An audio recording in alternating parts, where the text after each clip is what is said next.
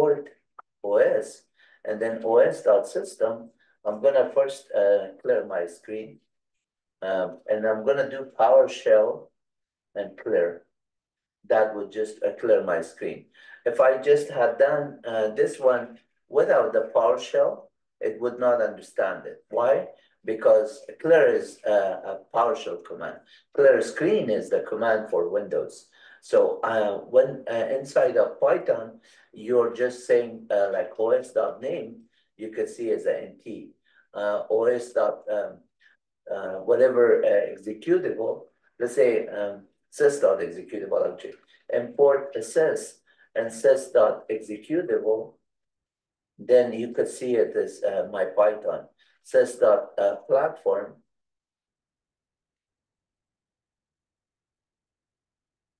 is Windows 32. Sys.path